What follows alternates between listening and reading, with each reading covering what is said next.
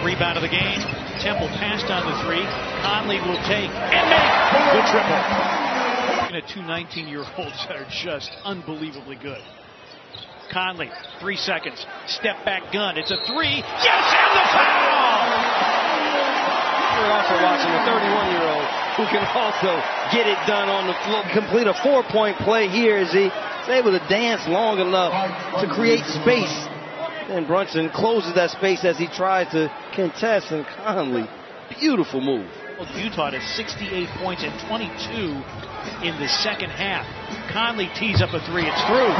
Second time tonight the Grizzlies have run this double screen down for Mike Conley. Offensively, you find that rhythm. Looks like this is going to be one of those games for the Grizzlies. Conley, another three. Good again. Four of six from beyond the arc and 17 for Mike Conley.